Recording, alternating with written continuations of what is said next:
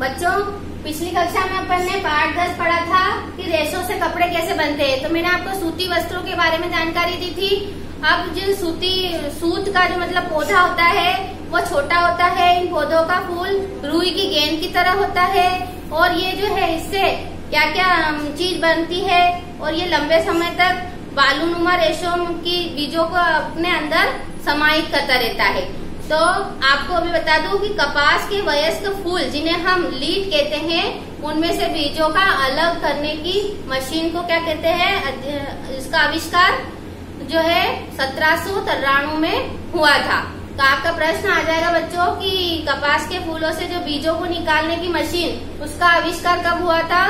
तो उसका आविष्कार एली बेटनी ने सत्रह में किया था। अब आ जाइए आप हेम्प हेम्प का पौधा जो रेश देता है अपन को वो है कि इसकी ऊंचाई कितनी होती है कम से कम? इसकी ऊंचाई कम से कम जो जो चौसठ की चौसठ मीटर होती है ये ये जो है पौधा इसे पौधों का मुख्य तना खोखला होता है जबकि इसकी छाल का अं-, अंदरूनी हिस्सा रेशेदार होता है जिसका रेशा बहुत मज़बूत होता है तथा जिसे आसानी से छीला जा सकता है। और पटुओं पटुओं के रेशों के नर्म भाग वस्त्र बनाने में काम आते हैं। इसके अलावा पटुओं का रेशों से कई कई और भी उपयोग होते हैं। इसके बीच में तने इसके बीजों से, इसके बीजों से तेल भी निकलता है, जबकि इनके बीजों को अलग अलग प्रकार के रसायनों में मिलाकर चरस, गांजा और बहुत सारी मादक पदार्थ बनाए जाते हैं। चरस गांजा और अनेक मादक पदार्थ इससे बनाए जाते हैं। किससे? हेम्प के पौधे से। अब है जूट का रेशा। जूट के रेशे रेशे एक छालदार छोटे किंतु मज़बूत पेड़ हो, पौधे होते हैं और पौधों से निकलते हैं। इस पौधों की ऊंचाई अधिकतम चार मीटर तक होती है। इस रेशे का सबसे बड़ा नुकसान यह है कि ये काफ़ी खुरदुरा होता है। तो आपका प्रश्न आ जाएगा इसमें कि ये कितने मीटर तक होता है, ऊँचा कितना होता है? तो आप चार मीटर इसका याद रख लीजिए कि जूट का रेशा चार मीटर तक ऊँचा होता है और ये खुरदुरा होता है।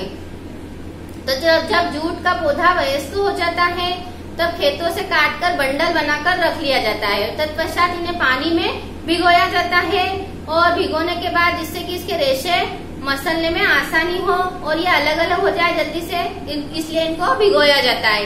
उसके बाद पौधों को, इन बंडलों से बंडलों को कड़ी सतह पर कूटा जाता है, जिसमें इसकी कठोर सतह से जूट के रेशे अलग हो जाते हैं। जूट के रेशे से टाट के थैले, बोरी, कालीन, गलीचे, रस्सियाँ, कागज़ बनाने के काम आता है। कपास के रेशे के समान जूट के रेशे भी पर्यावरण के मित्र हैं।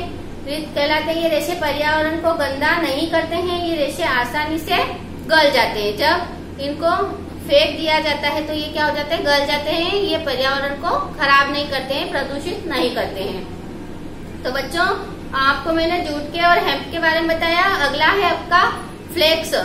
तो फ्लेक्स का मतलब है सन रेशे। इसमें रेशों का उपयोग जो है कीड़े ये जो कीड़े से नहीं, रेशम का रेशम का जो है, वो अपन को कीड़ों से प्राप्त होता है। लेकिन ये फ्लेक्स क्या है?